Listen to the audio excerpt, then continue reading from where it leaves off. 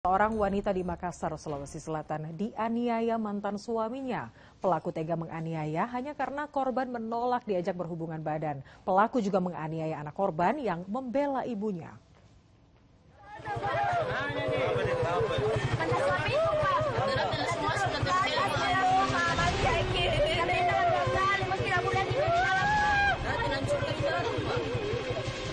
Mendapat laporan adanya kejadian penganiayaan, tim penikam Polrestabes Makassar bersama unit Reskrim Polsek Makassar langsung mendatangi rumah korban di Jalan Kerung-Kerung, Kecamatan Makassar, Kota Makassar, Solusi Selatan, Senin malam.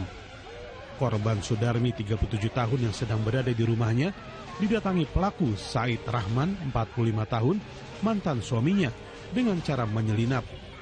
Kepada korban pelaku minta dilayani hawa nafsunya, namun ditolak korban. Tak terima keinginannya ditolak, pelaku menendang korban hingga korban tersungkur.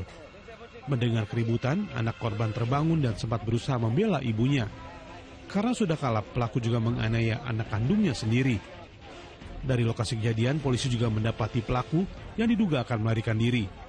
Pelaku dan korban kemudian dibawa ke Polsek Makassar untuk diperiksa. Laki HM ini mendatangi rumah mantan istrinya dan meminta untuk berhubungan badan Ya. sehingga is- istri mantan istrinya ini menolak. ya Setelah menolak, uh, sehingga pelaku ini melakukan penganiayaan terhadap mantan istrinya. Adapun yang dilakukan penganiayaan yaitu uh, melakukan uh, tindakan dia menendang perut sebelah kiri mantan istrinya. ya Tiba-tiba anaknya terbangun, ya anaknya terbangun sambil menangis, mengatakan bahwa Bapak, kenapa kita kasih begitu mama? ya Sehingga uh, pelaku ini kembali lagi untuk melakukan penganiayaan terhadap anaknya. Setelah ditahan semalam, korban dan pelaku akhirnya berdamai.